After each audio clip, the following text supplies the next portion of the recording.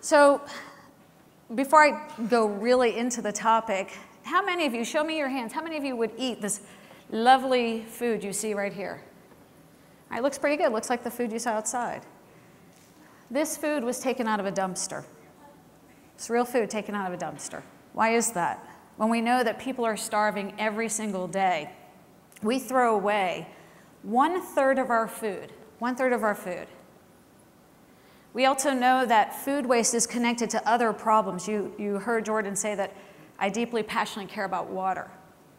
Well, 70% of water, when by the way, only 1% of the Earth's surface of water is actually usable, 70% of that 1% goes towards crop irrigation. So if you're throwing away food, you're throwing away water. We also know that this food that ends up in a landfill and by the way, food waste is the single largest contributor to solid waste in a landfill. It creates 33% of the greenhouse gas emissions that exist today. 33%. So you've wasted water. You now have created an issue with the climate. And as we can see today, yesterday was 100 degrees, today it's freezing and cold. So whether you believe or not, there's something happening. We know that there's a real issue that's taking place. We also know that this is solvable. It's solvable. I mean, look at this.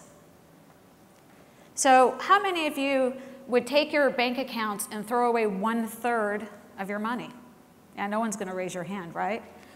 Well, yeah, maybe some of you might know. I don't think so. Well, think about what's happening in business. So, I really love the connection to business as well. This, in, just in the United States alone, $12 billion are lost every single year that's flushing money right down the toilet.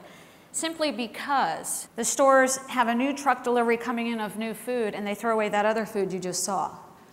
Simply because we never finish our plates, right? We throw away food when we go to a restaurant. And so these are big problems, and it's connected to water, to climate.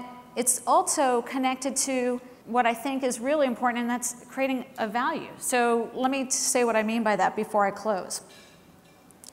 Will.i.am, who was here last night, who's a huge X Prize supporter, I've gotten to know him because he deeply cares about recycling.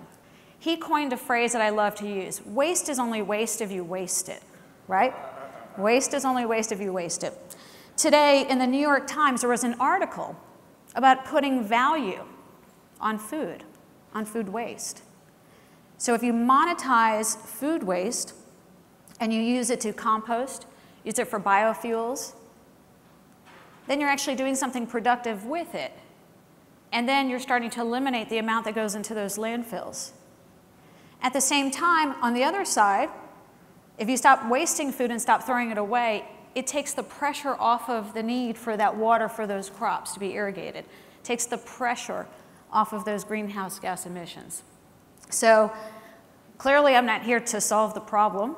I think this would be a really great X Prize for the best thinkers in the world to come together and say, how do we start to reduce food waste? Because we know that if we eliminate 50% of food waste alone, we can feed our populations. And then how do you actually monetize food waste? So when there is waste, it turns into value. So thank you. That's it.